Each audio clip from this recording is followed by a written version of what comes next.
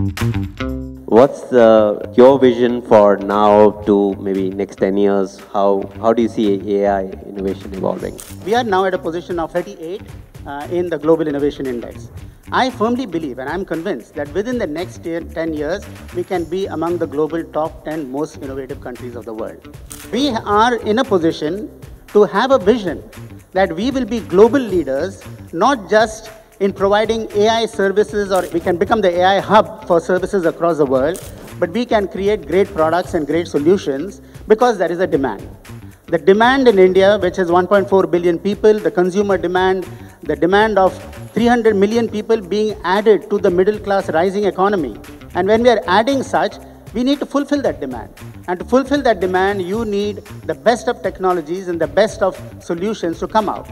And AI is providing us not only a means of addressing the demand, but India to also be a global leader in having societal impact.